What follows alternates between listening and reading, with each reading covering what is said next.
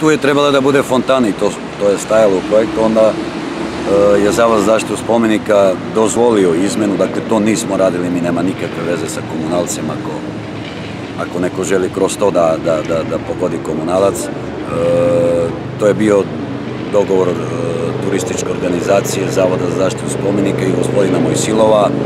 Ljudi su, eto, mislili da Ali nešto... sve je besplatno koliko se me Da, sve je besplatno, jest, to, to, to stoji, ali je, eto, oni su smatrali da, da tu jedna umetnička skulptura u kamenu neće smetati, da će samo oplemeniti ovaj prostor i to je njihova odluka.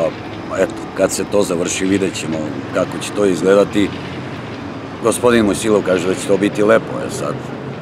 Lepota i u oku posmatrača, to znamo, jel tako, pa I za kraj, ne, ne mogu nikako da, da pronađem Elenu Petrović Vasić, moguće da je na odmoru. E, u kojoj fazi je zidina, kada bi trebalo da bude gotovo?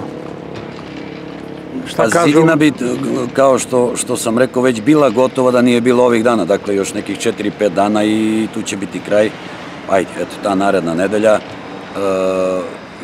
zidina, ako je tako već zovemo, će izgledati kao što je ovaj sređen već, onaj deo je završen, dakle, Da. ona kupola i ovaj e, deo koji prolazi kroz glavnu stazu.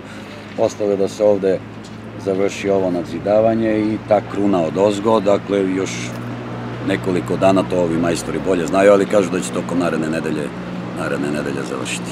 I onda nastavljamo, dakle, da pored, Da. pored zidine dodamo zemlju, da to sve sredimo, nasadimo travu i da to izgleda kako treba.